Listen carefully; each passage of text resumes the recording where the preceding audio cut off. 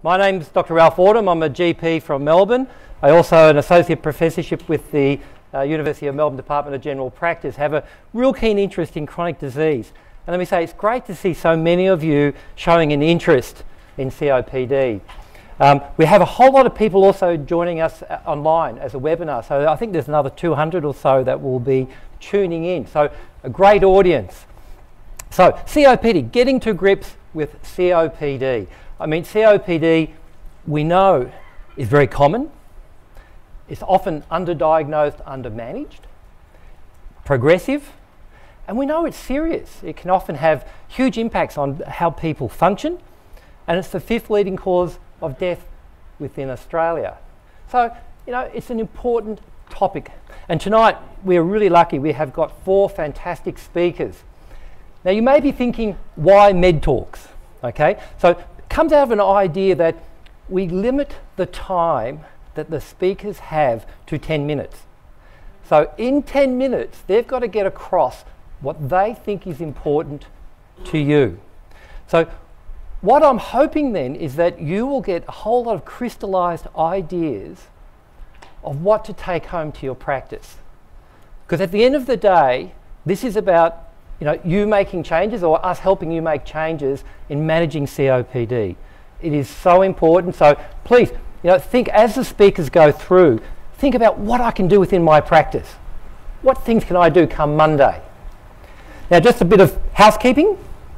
So please make sure your phone's either turned off or on silent.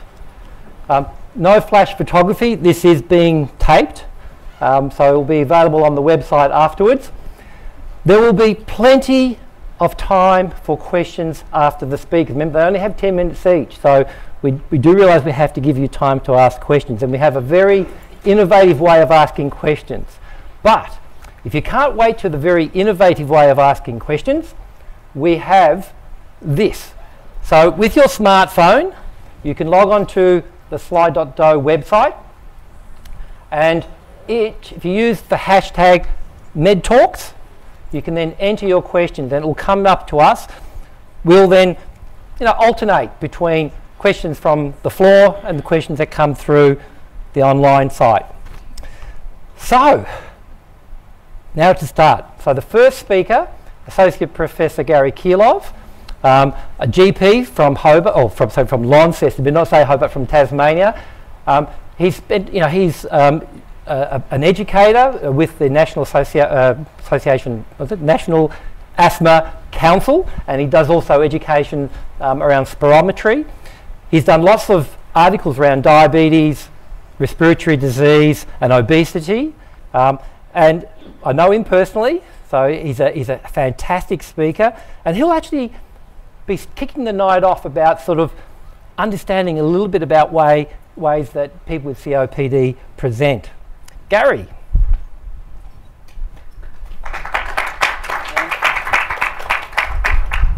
Thank you very much and welcome everybody. Um, this is about clinching the diagnosis. Before we treat, before we investigate, we really need to make a clear diagnosis or at least have a notion of what we're going to, to, uh, to be addressing.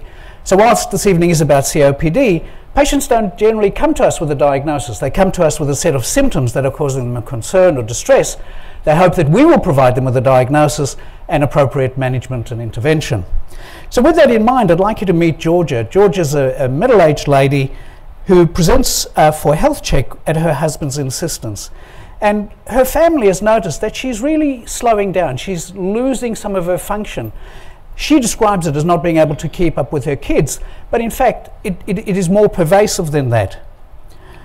If we then dig a little bit deeper, she has a smoking history, 27 pack years. She no longer smokes, but this is the accumulated damage over uh, a lifetime of smoking.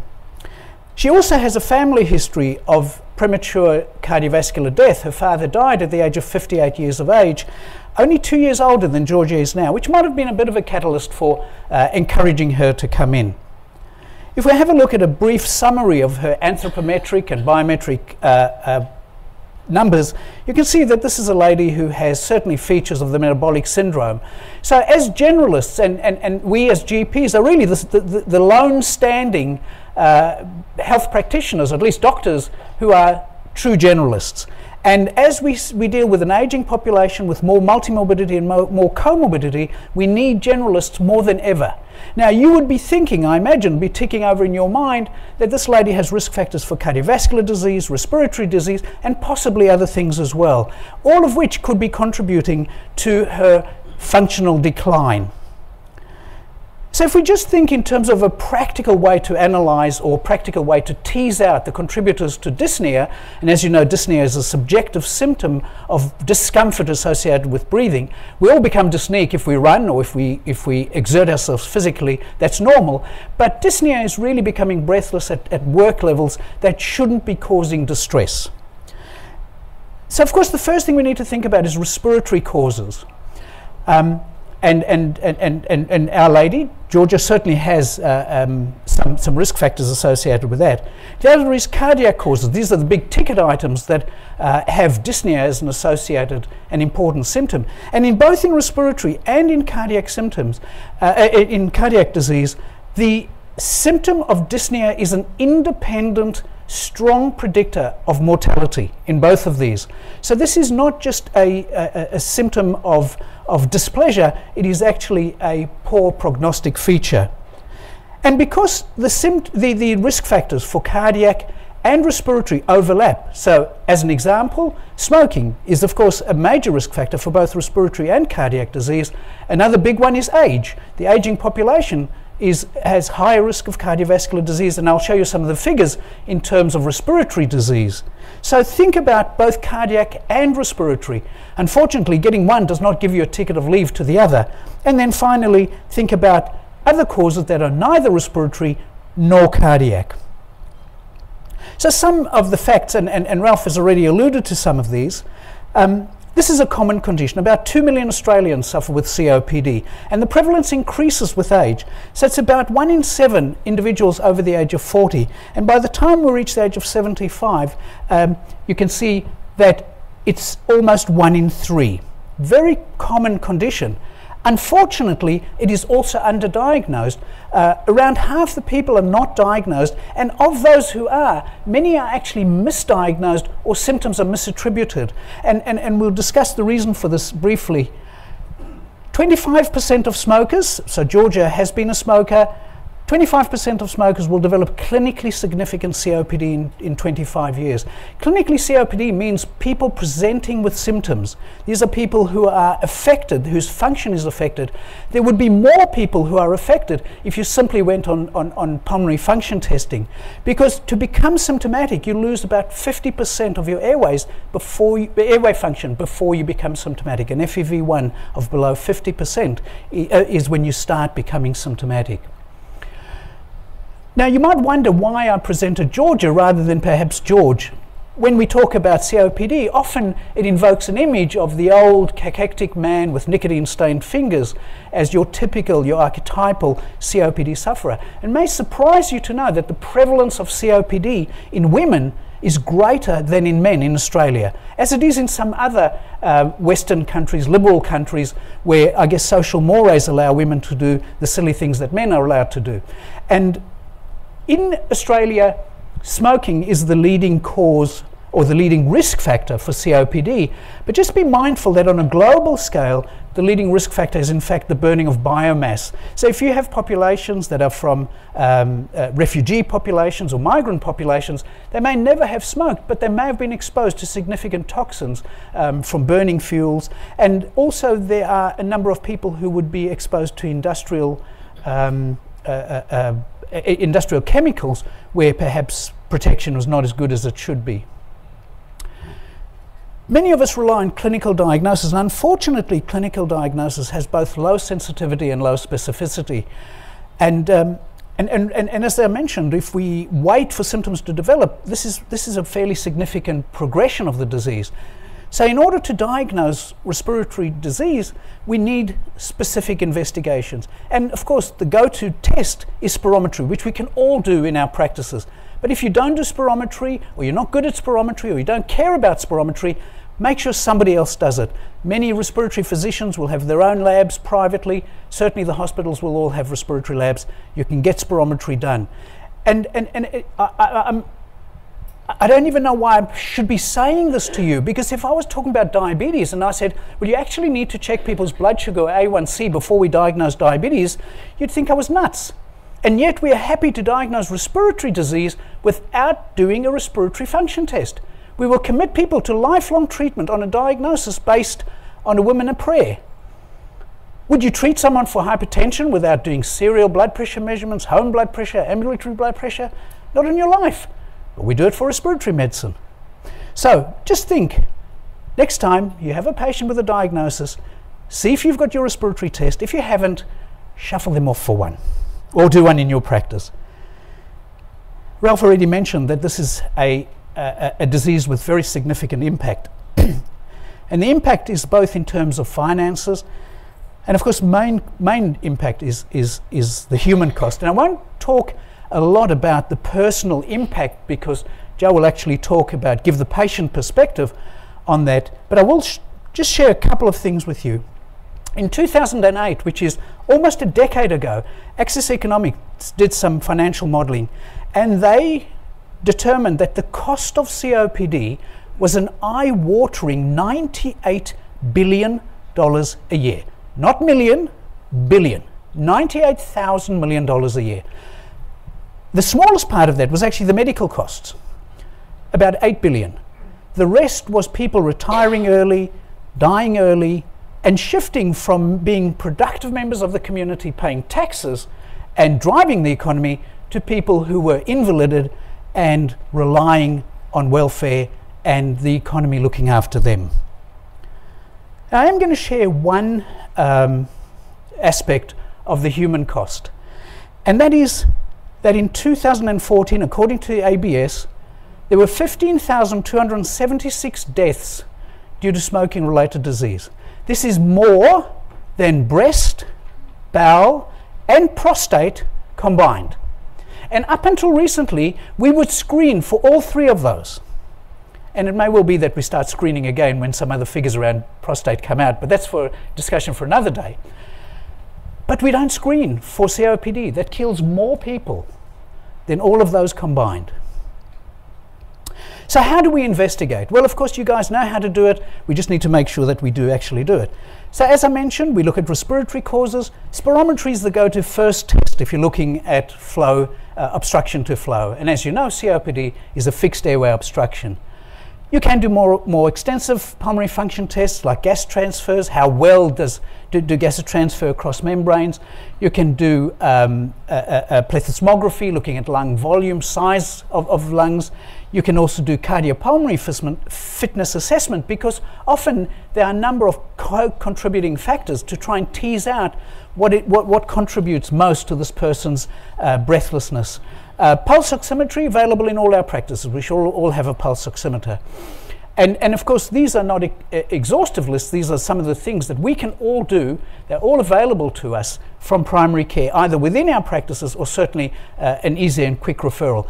Just a reminder that chest x ray is not a diagnostic test for COPD, but it is an essential part of investigation to exclude uh, or confirm complications of COPD, such as lung, you know, bronchogenic carcinoma or, or infections.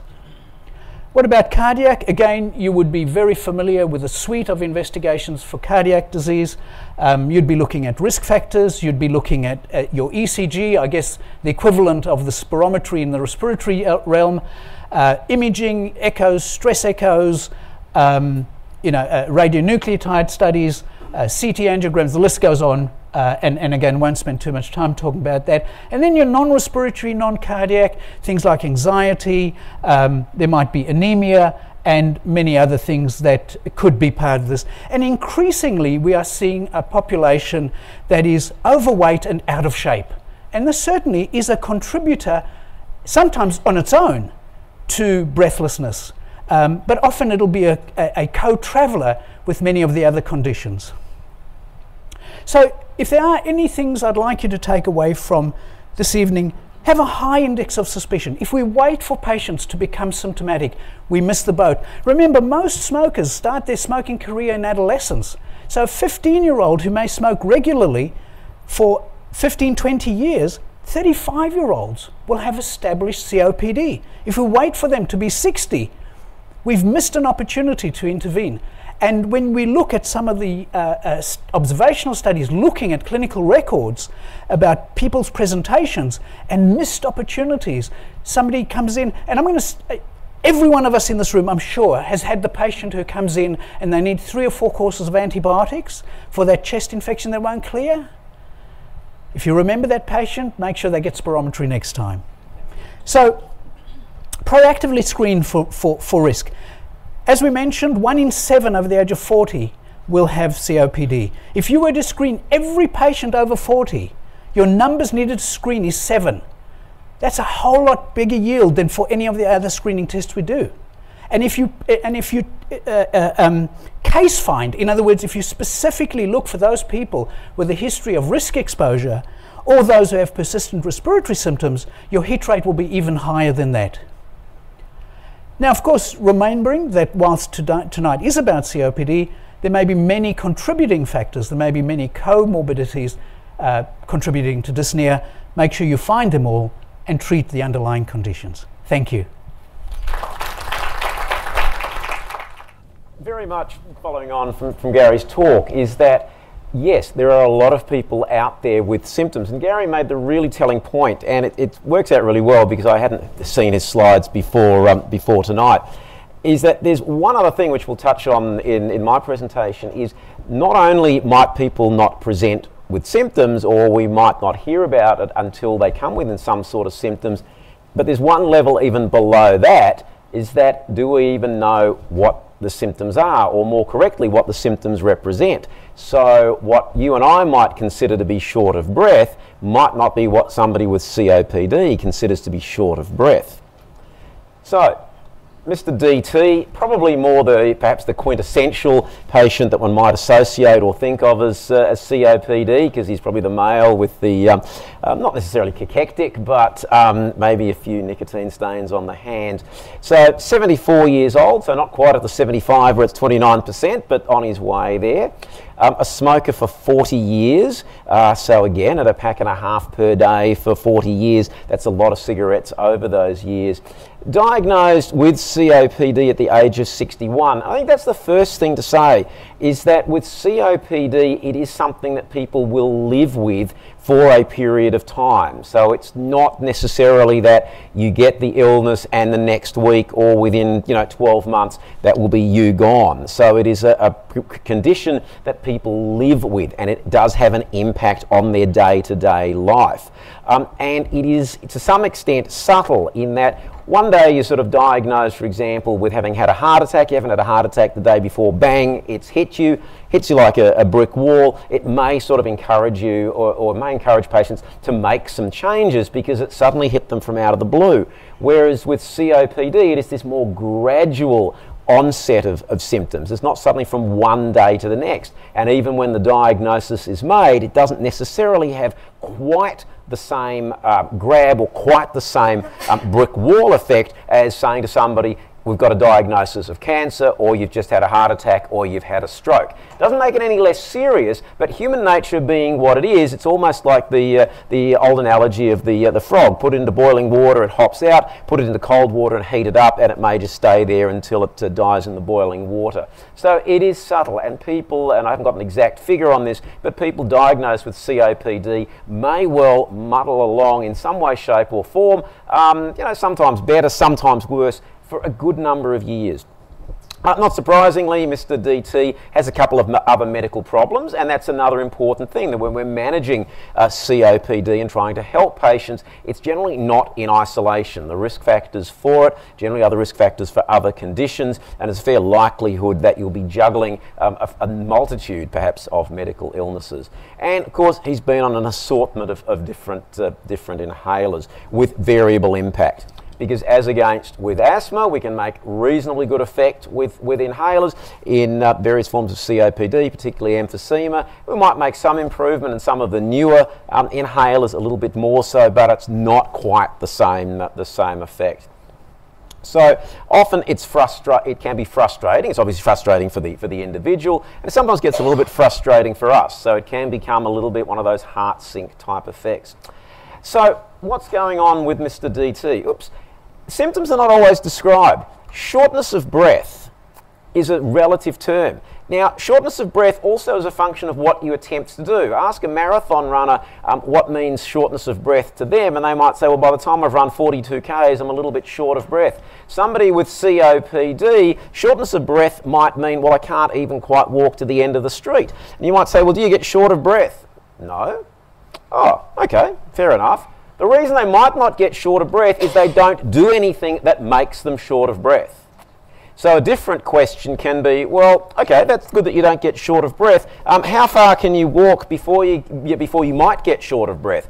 Oh, um, well, um, yeah, probably, uh, I never really thought about it that much. So suddenly by asking a different question, you can unlock what might otherwise be hidden. So people may um, not even necessarily come in and complain of being short of breath because they have adapted themselves to the fact that they are and restrict their activities. Um, so very much, what does shortness of breath mean? And okay, we don't have to have a, a, tape measure out or one of those sort of things you get from Bunnings where you can sort of measure it out and measure meters. But you know, to the front door, to the mailbox, once around the block. You know, what about if you go to the shops? By the time you're in the fourth aisle, is it a bit of a bit of a struggle? And people will relate to that. So often, again, we have a particular language in medicine. That language is not necessarily the same one that's spoken by the patient. So putting it into terms of even in terms of meters might not mean that much. Well, if you go to the shops, um, how close uh, you know do you try to park to the uh, to the entrance? Because it is a problem if you park uh, you know in the further car park. Well, yeah, it is. Uh, those sorts of things.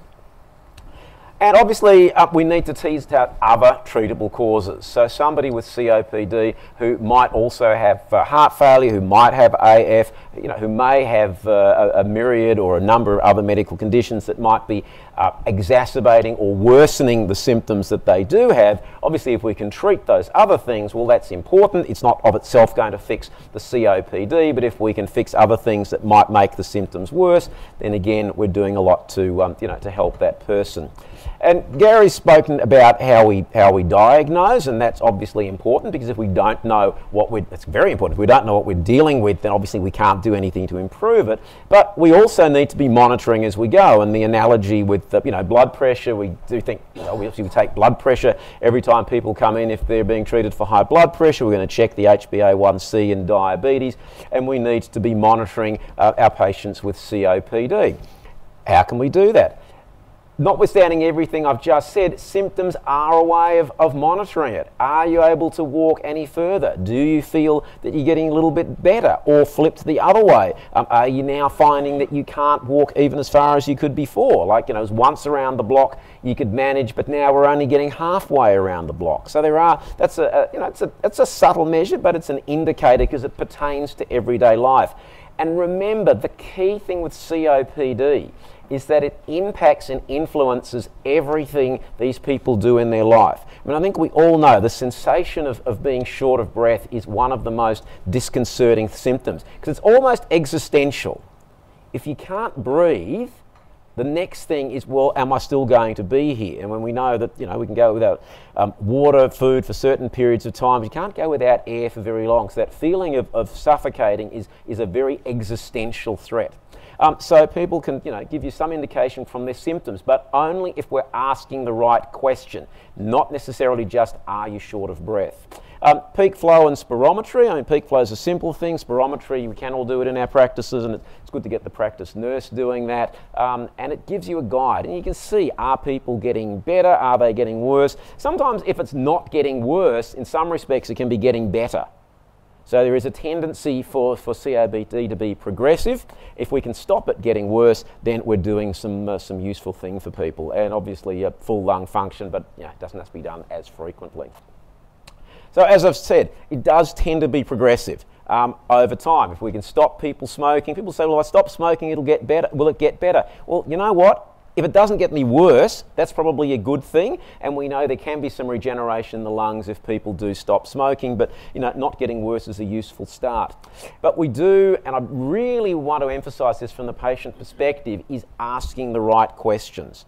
Um, what is happening in your life? Because it might not be noticed. Um, do you get short of breath playing with the grandkids? Um, no. Well, maybe that's because they're not playing with the grandkids. Um, you know, do you, how do you go with kicking a ball in the backyard? Well, I don't actually do it. Um, but if we don't ask a little bit more specifically, um, we may not. If you've adapted your life, and people are good at adapting, then they won't perceive that they've got a problem. But they've got a problem in as much as they've had to restrict what they're doing. And can we fix it all? Well, no, we can't. But if we know what's going on, we can at least try and bring about some improvement.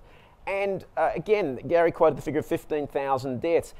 It, do, it, doesn't get me much media attraction or awareness. Um, we don't have pink ribbon days or red ribbon days or green hat days or blue something else days for COPD. It's not a particularly sexy topic.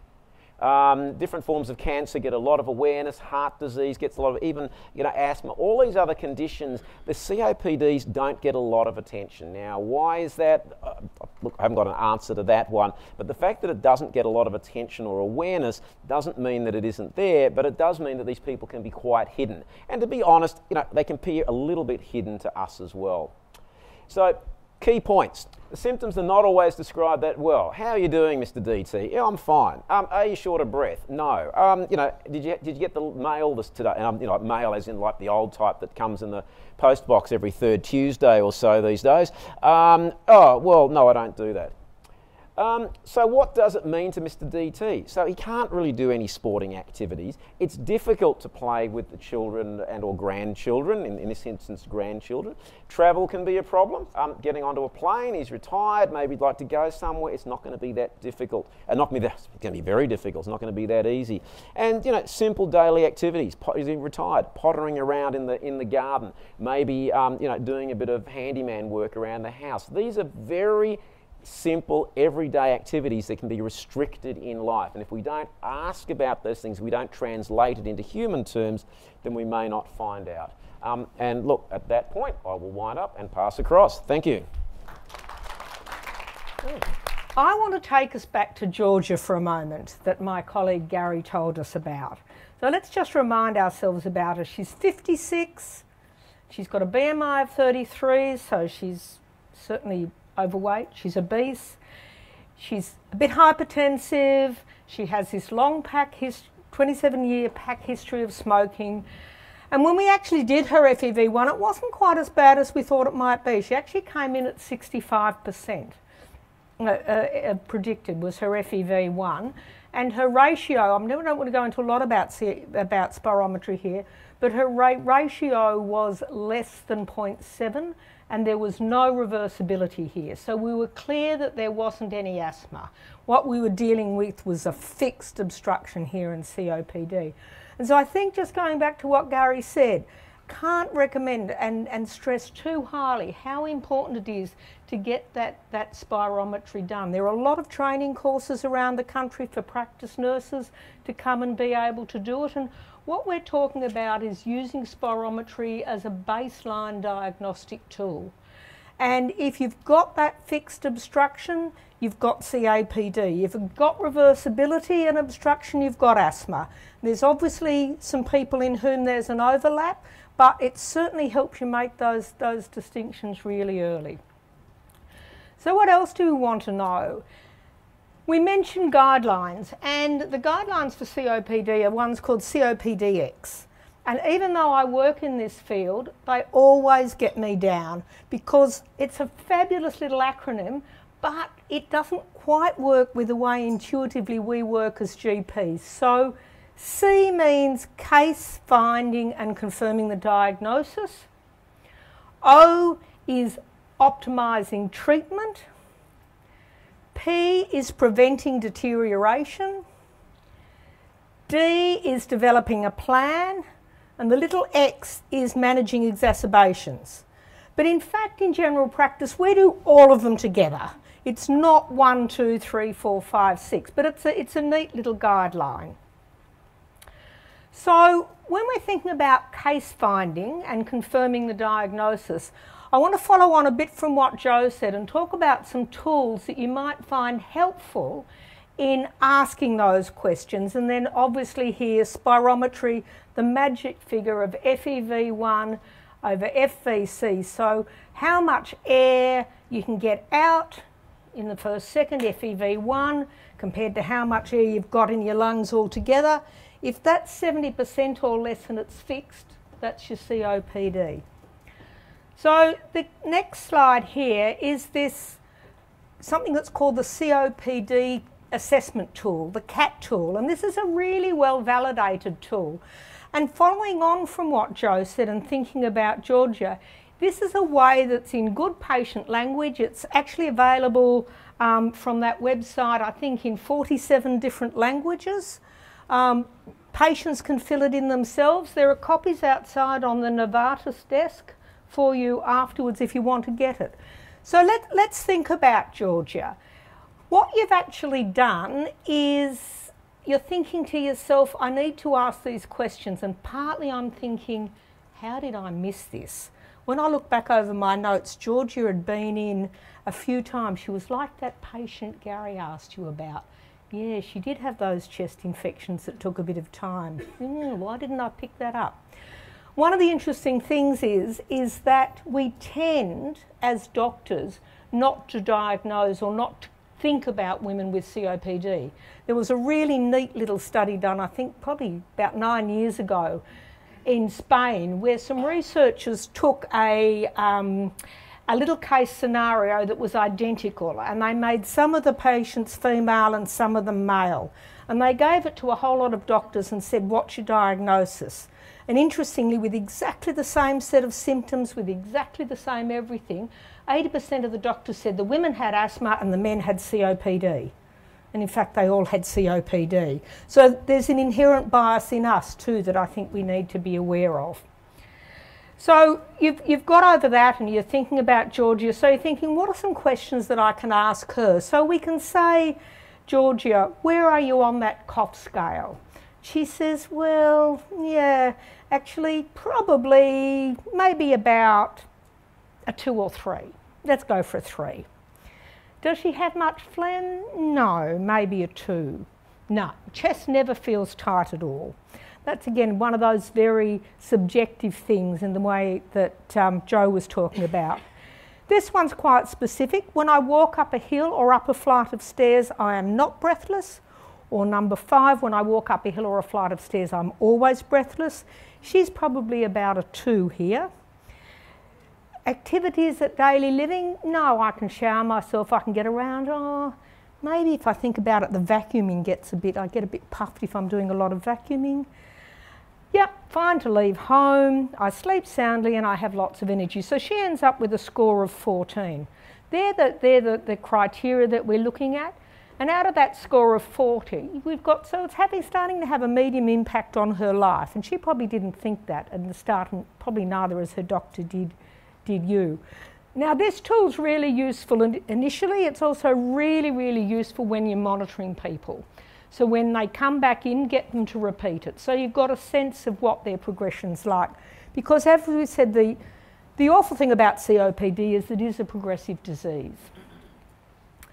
So O, and I should probably have in here in the official sort of way that it's written, O is optimise uh, treatment and and optimise function and we should have P and D in here because they're all of them. Now I've got stop smoking in here because when you actually get to know Georgia, you know what? She's still smoking. And she really didn't want to tell you because she really knows she shouldn't be. But she is. So, in terms of preventing further deterioration, this is the really key thing. And as we all know, people like this can be really hard to engage about their stop smoking, and it often requires every, every resource we have as GPs in trying to find the thing that's going to help them. Most people take at least nine serious quit attempts before they actually stop smoking.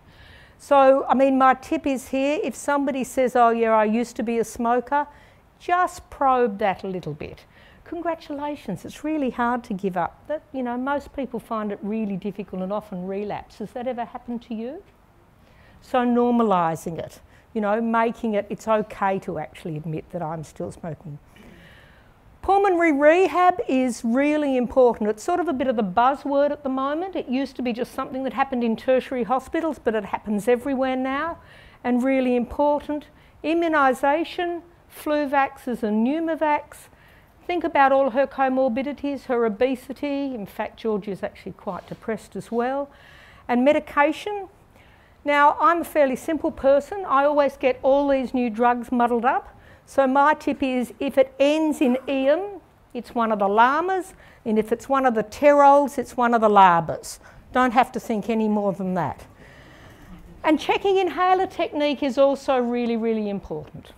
Okay, so I don't know how this slide's. Um, this is a stepwise guide, and we're going to talk about medication again. This is my Bible. I have this on my desk all the time, and there are copies of these for you outside. So, what this goes down and says is that when we're, in fact, we've got Georgia's here in the mild level.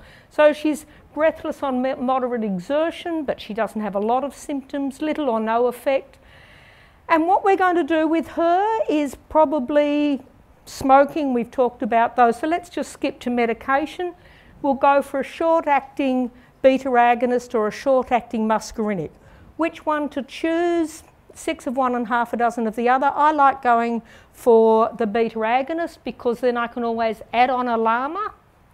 If I start her on a short acting muscarinic and then want to move her on, I can't do a LAMA, but I can do a LABA. So, I mean, it really doesn't matter, but the thing is you can't use a short-acting muscarinic and a long-acting together, whereas you can obviously in asthma with the others. We see Georgia, um, let's say, we start her on this, we review her in four to six weeks, and it's, yeah, she's a bit better, but not that much better. So let's think about starting her on one of the long acting. So that's the next step wise. And the theory about this is you go up to the steps till you get good symptom control.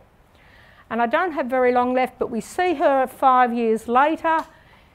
You've sent her off. In fact, she's seen a really helpful psychologist and she's stopped smoking and she's dealing with the depression. She's generally feeling much better about her life, but her symptoms have got worse.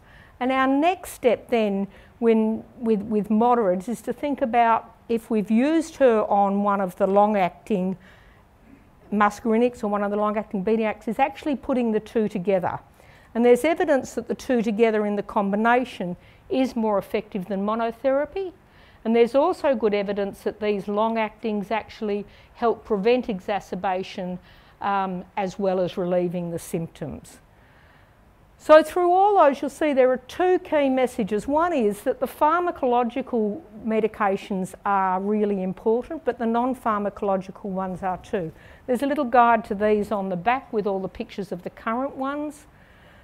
So COPD is really multifaceted in terms of how its symptoms for people and multi, oh, multi-management.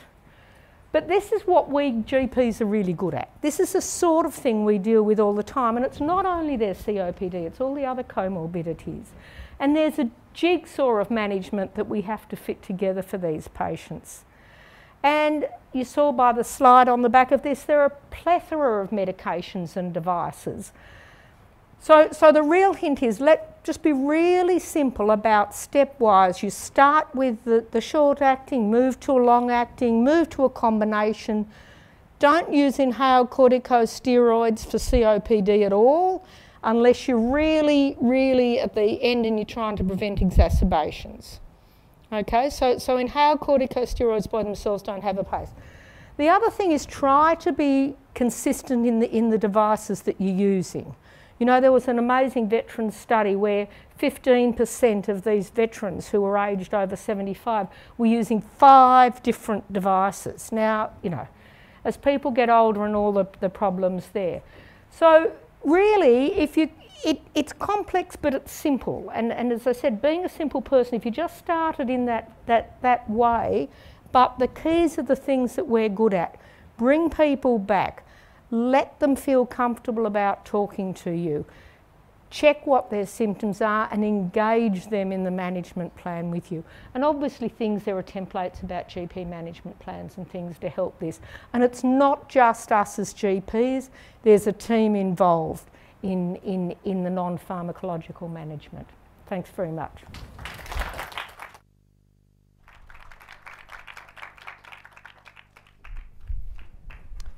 Thank you. So, I mean, what I take away from that, I mean, I love measuring things. And I think if you could measure things, it gives you a sense of whether you're actually improving or not. And so if you actually, you know, use the questionnaires, use spirometry, it will give you a sense of where you're going. So uh, I think it was a, a great talk.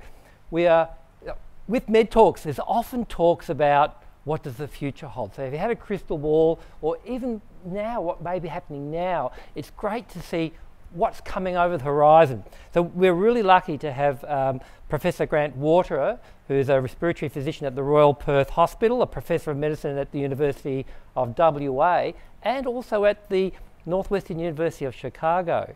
And so he's very well published, fantastic, and he'll actually be sharing insights of the new and emerging options for management of COPD. So, um, Professor Waterer. Oh.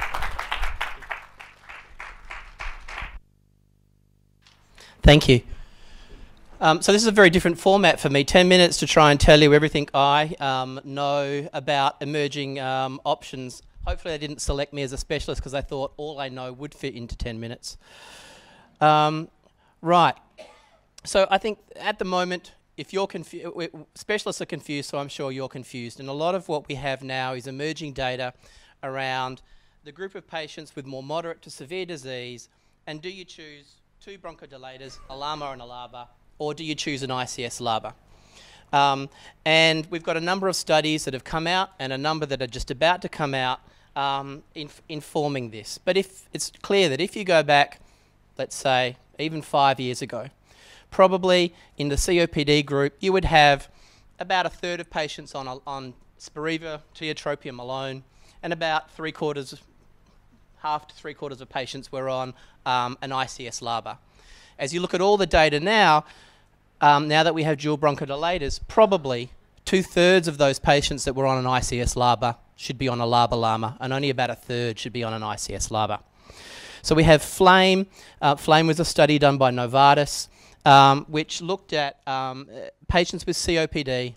It had, a, had had quite a lot of exclusion criteria, and, and an important one I'll come to in a minute.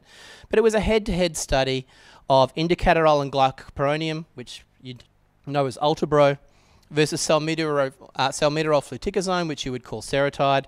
Um, and quite interestingly, in uh, certainly all patients and the moderate um, to severe patients, um, the exacerbation rate was actually lower in the dual bronchodilator group than in the ICS LABA group. Um, not so much difference in the severe group, but in the severe group they had an awful lot of exacerbations.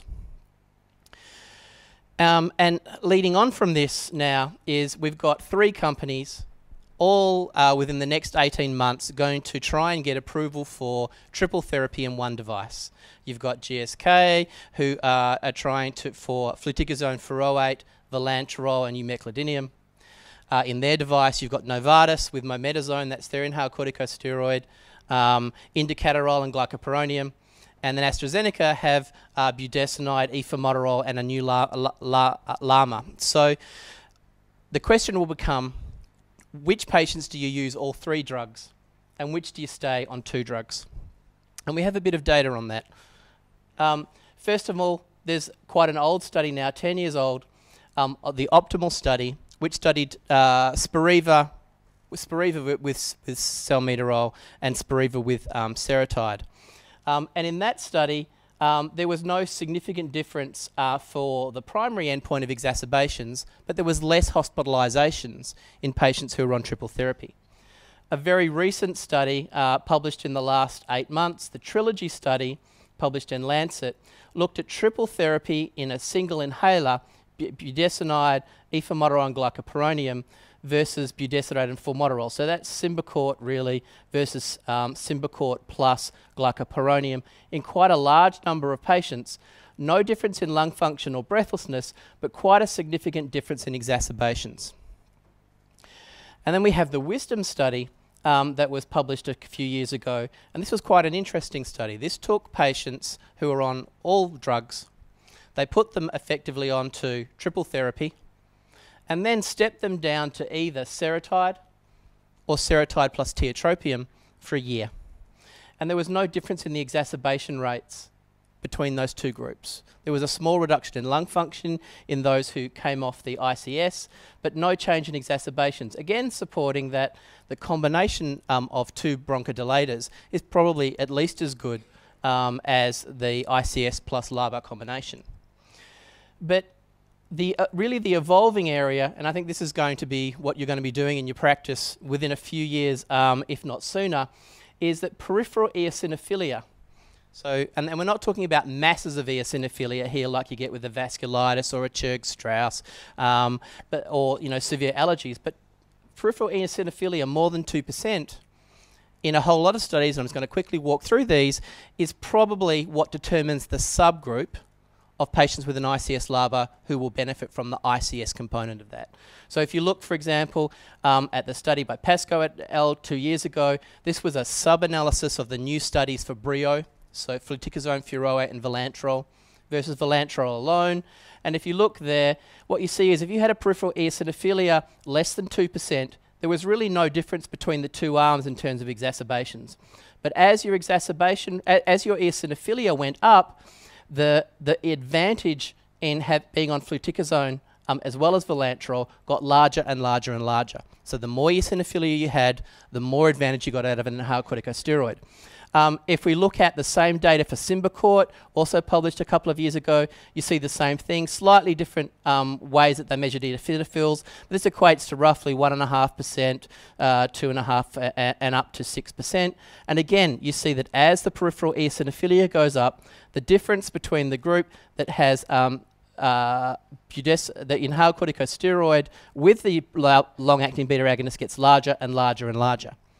And then finally, from the wisdom trial, the one I just showed you where comparing uh, salmeterol and tiotropium with uh, seretide, show, in a sub-analysis, they showed that, um, and what you're looking at here is uh, increasing amounts of peripheral eosinophilia, that the gap between, for exacerbations, gets larger and larger again in those um, who had a larger eosinophilia, me meaning that um, if you had more eosinophilia, you got more exacerbations if you were taken off the inhaled corticosteroid. Okay, so this whole concept that peripheral eosinophilia, a simple blood test, might be a really useful marker for deciding which of that one third of patients should be on an ICS LABA versus combination of treatment, um, or perhaps even triple therapy, um, is really the, the sort of cutting edge for us. There's a whole lot of stuff that your patients will come to you from the internet around monoclonal antibodies. Uh, there's a whole lot of anti-IL-5 antibodies. Mepolizumab is now available in Australia for asthma. There's another couple of um, uh, anti-IL-5s. They're all being trialled in COPD. Um, they all show some efficacy, but whether or not we're going to be able to afford them is going to be the interesting uh, question.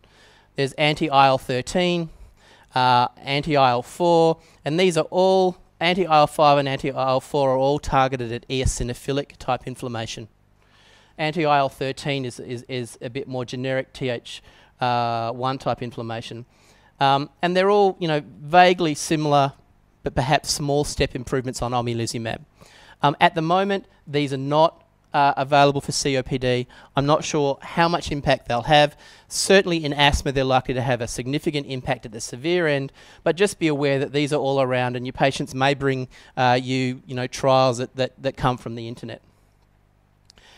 Um, antibiotics as well um, are entering into um, uh, the stage where we have data telling us which patients might benefit from antibiotic strategies in COPD.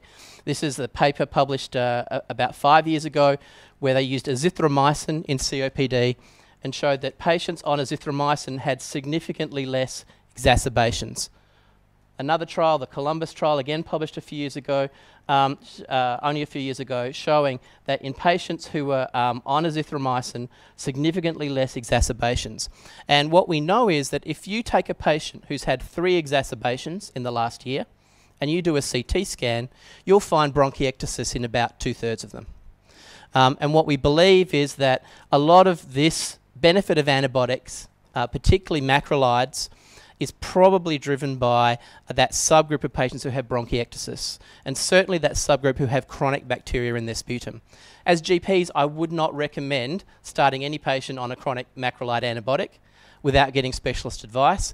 But it's very clear that macrolide antibiotics, not for their antibiotic effect, but for their anti-inflammatory effects and their um, also some some uh, immunomodulatory effects in the lung as well, um, in a subgroup of patients seem to do very well. And some of you may have noticed in the news just recently that the, uh, the, the group in Newcastle have shown that in severe asthmatics who um, have a lot of exacerbations, the same thing. So this again is sort of cutting edge of what we're, we're expecting to see is that some patients with COPD, particularly those with frequent exacerbations, are likely to end up on chronic macrolide therapy.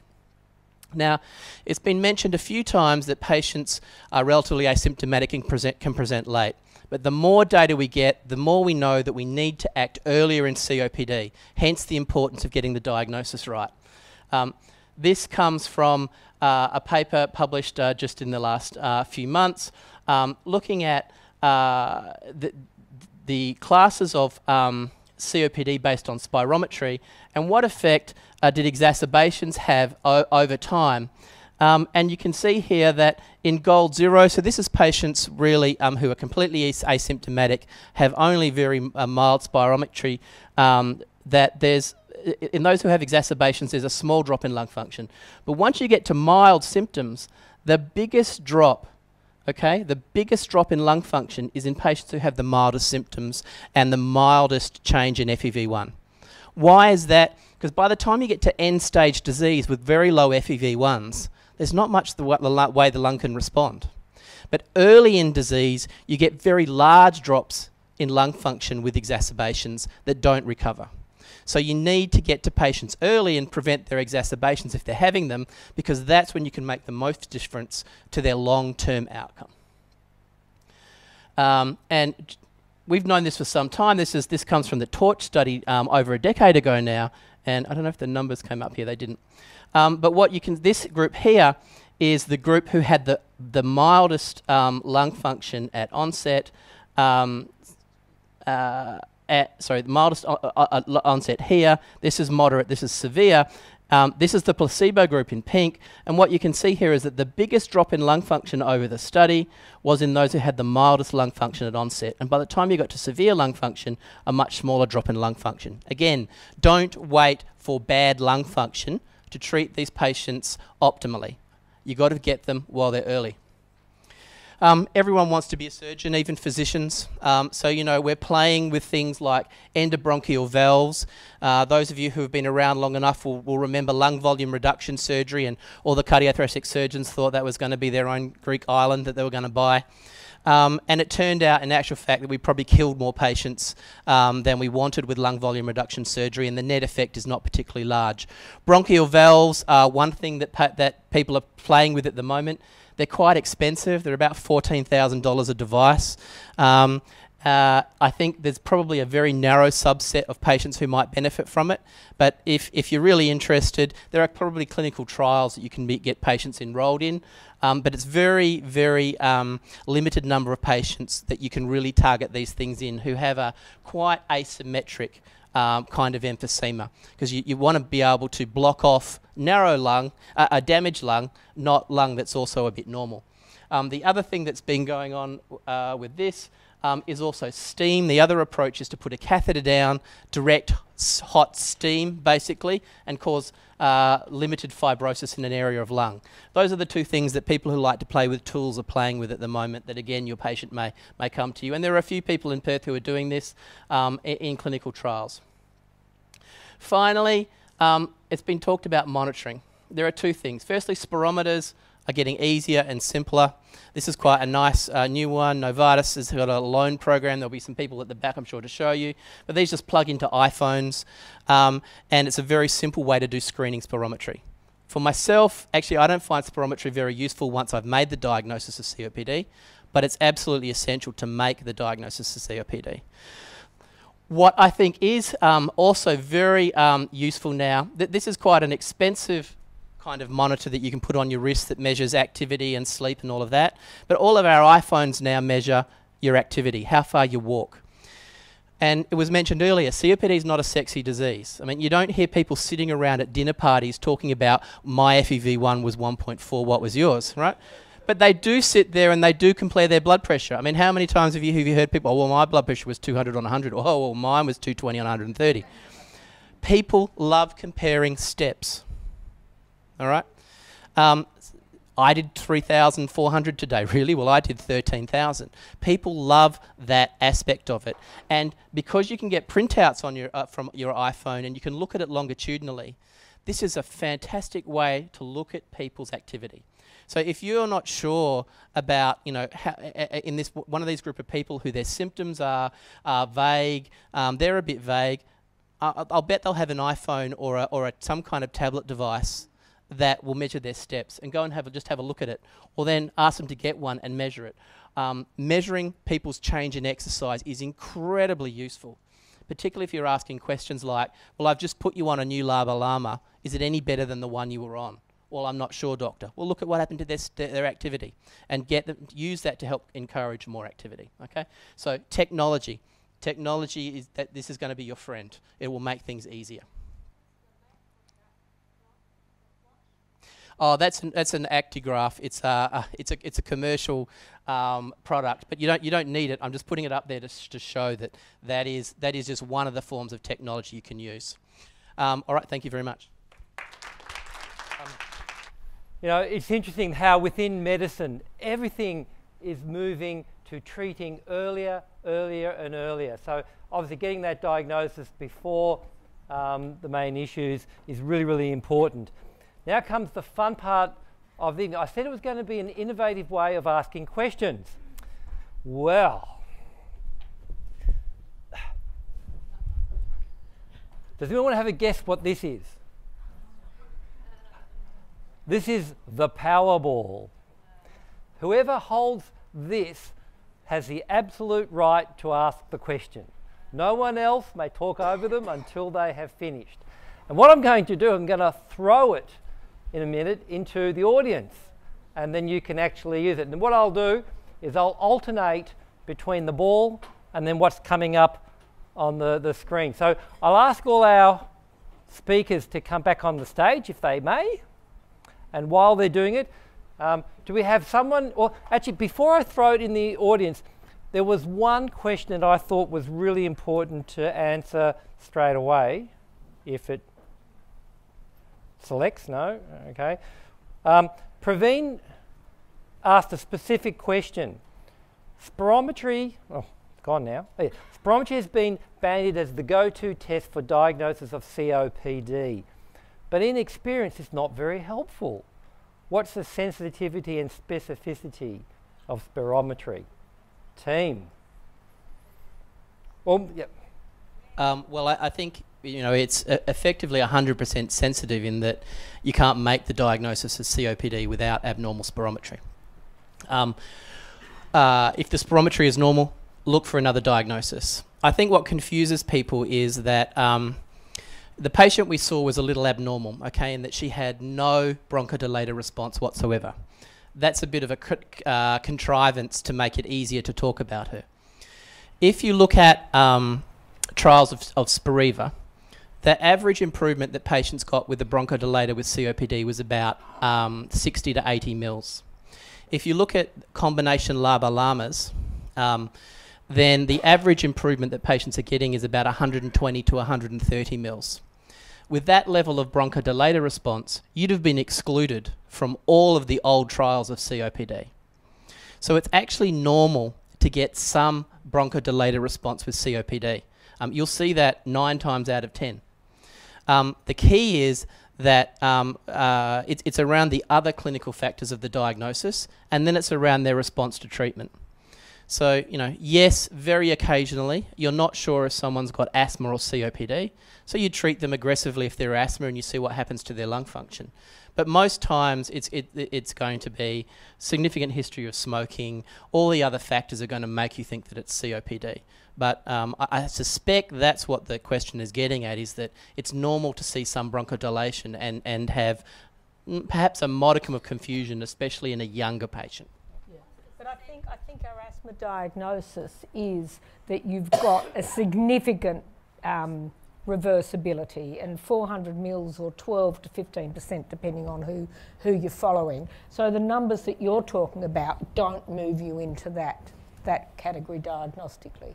Can I, sorry, just add one, Yeah. one Yeah. last thing. As somebody who's done spirometry training for a very long time, I think the problem is not so much the spirometry as a test.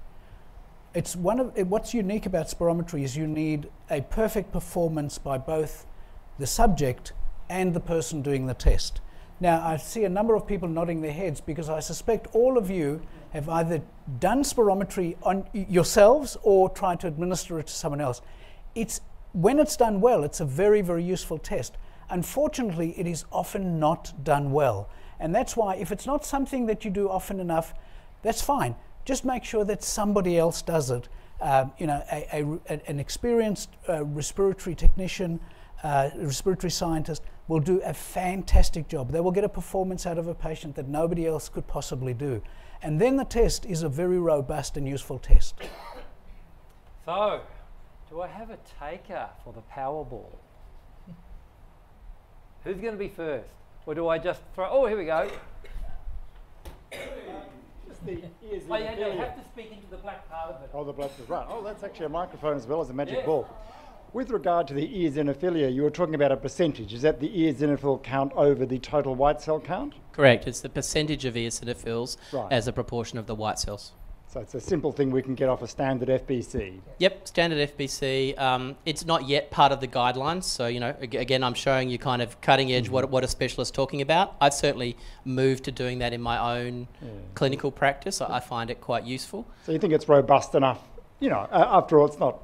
I mean, we have to make that clinical decision What- anyway, so it, what- it's what we don't have- unreasonable for us to do that. Yeah, look, uh, what we don't have is a randomized controlled trial that randomizes people based on their eosinophil count into two arms. All right, what we've got is retrospective studies that say, in retrospect, that's what it looks like. So until we've got that randomized prospective trial, it isn't a slam dunk. But given that we've all got a bit of confusion around this, and given the data that's out there, it seems like if you're really not sure, it will help tip you in one direction or the other. Now we'll have one. You get to hold the ball until we throw it to somebody else. So, um, next question. And look, we are talking about how the impacts are on people. Sorry, it's not working. So, look, the cutoff spirometry reading and oxygen levels for patients being unfit for flight. So, you know, COPD, moderately short of breath. Are they, you know, they come with their nice little, you know, medical insurance form, which I'm sure you've all seen when they've gone travelling. What, what are the cut-offs before we're allowed to say that they can fly? When's it going to be a problem? Um, well, there's no cutoff for spirometry. Um, the, the issue, of course, is at flight. Most most airliners, apart from the the triple seven, all pressurised to about three thousand meters. So you know, if I put a pulse oximeter on my finger, um, I'm normally about 97 a- at sea level. Um, at, at altitude in a 747, I'm about 92, 93. Um, uh, so if you start off with a low pulse, a low oximetry, it's going to go even lower. So what I say to people is, um, uh, it's it's a function of both your oxygen at rest, um, and certainly if your oxygen saturation is 90, less than 92% at rest, you're at risk. And it's also a function of the distance of the flight. Um, so if it's a relatively short flight, Sydney to Melbourne, that, that's probably fine. But you know, if, if it's a longer flight, then the factor comes in. You've also got to get up and walk to the bathroom. So I tell I tell um, if my uh, GPs and, and certainly for my patients, if you're at 92%, if you're less than 92% at rest, or if you get up and walk to the end of my corridor and back and you drop below 92, then what you need to do is actually have a flight, a- an altitude simulation test, which uh, is done in, in most areas in, co- in comprehensive labs. And what they'll do is they'll put oxygen on the patient at the level they're going to get at altitude and see what happens to them at rest and when they exercise, and also determine how much oxygen they need to get over that. Because it's not just a case of do you need oxygen or not, it's how much oxygen you need. Because um, airlines can only supply a limited amount of oxygen, and if it's a long flight, you're then talking cylinders and things like that. So, simple rule of thumb less than 92% get an altitude simulation test. Uh, if they walk up and down the corridor and drop to below 92%, get an altitude simulation test.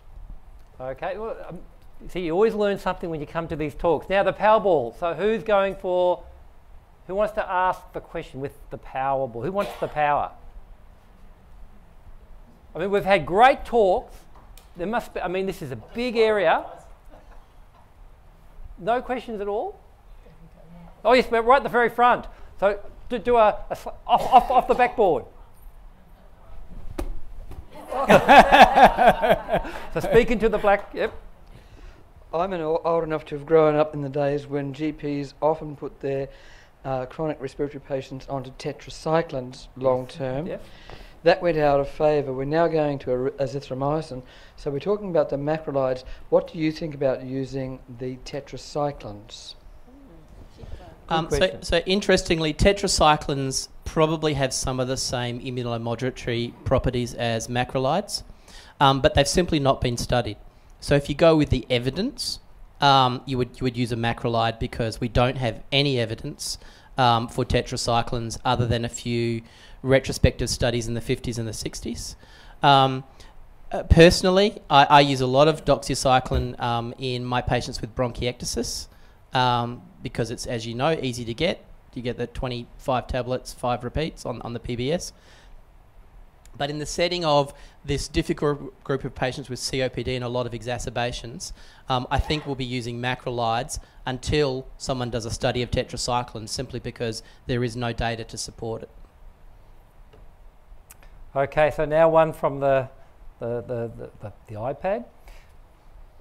And I think this is a, actually a really good one. What is the best marker to assess the improvement and the need to change medication? So we, we've been told what medications that we can use. How do you judge which medication you should be using? Oh, well, I, am happy to start that one and obviously join in. I think, um, I mean, I don't think there is a simple answer. What is the best marker? Grant said he doesn't use spirometry or particularly find it helpful in terms of monitoring progress, but that is one tool. I personally find that CAT tool quite a useful way of progressively following um, how a patient's going. So it's a, it's, a it's a measure of what measurements you can take plus the patient's symptoms how's the patient actually going in their life and what you need to change medication. The other thing, though, that I think makes COPD different is the other important factor is the number of exacerbations that they've had. So I think those three things symptoms, exacerbations, and spirometry would be the three measures I would use and make me think about whether I needed to change medication.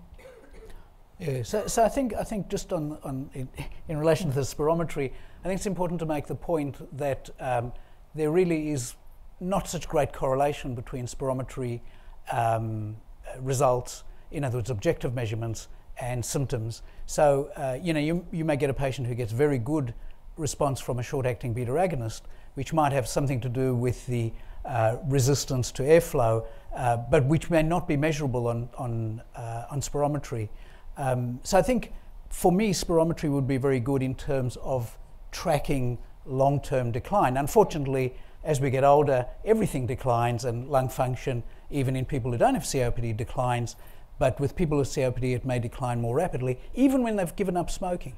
So I think it is important, uh, I think it is an important tool, but possibly not so much in terms of the uh, response to medication. But I do agree with you that it's really it's about function.